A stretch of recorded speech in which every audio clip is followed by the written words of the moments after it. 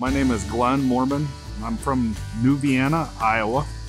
Our farm was started in 1983 by my parents, Dan and Sandy Mormann. We have 12 Lely A5 robots and we milk about 720 cows.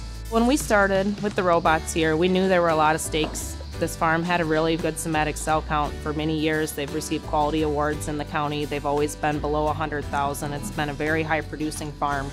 As Dan would say, the most important thing is prepping the cow. They really enjoy going to the robot now.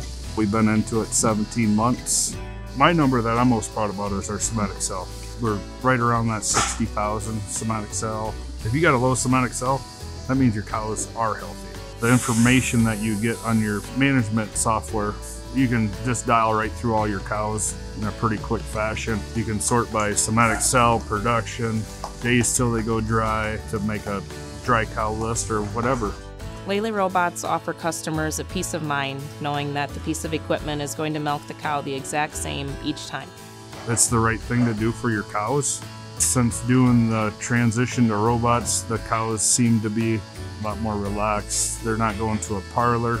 The cow wins because she's happier. The farmer wins because he's making more money. The cows are healthier. He's selling more milk.